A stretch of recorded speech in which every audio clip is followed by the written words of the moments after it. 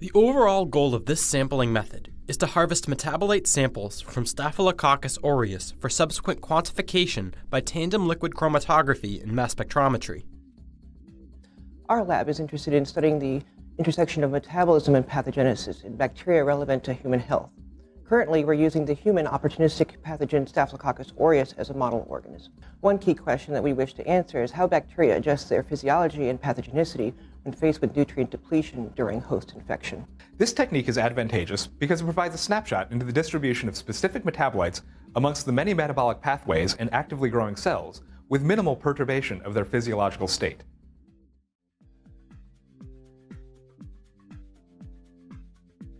To begin, streak the S. aureus strains of interest for isolation on tryptic soy agar from frozen glycerol stock.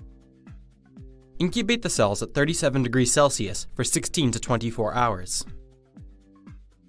The next day, inoculate 4 milliliters of tryptic soy broth, or TSB, in sterile glass incubation tubes with single colonies of each strain. Incubate the cultures inclined with rotation at 37 degrees Celsius for 16 to 20 hours. Use a spectrophotometer to measure the optical density of the cultures at 600 nanometers, abbreviated as OD600. Using this measurement, dilute the cells to an OD600 of 0.05 in 50 milliliters of sterile TSB medium in 250 milliliter DeLong flasks. Incubate the cultures at 37 degrees Celsius in a warm bath with shaking at 280 RPM. Every 30 minutes, take OD600 measurements. As the optical densities increase,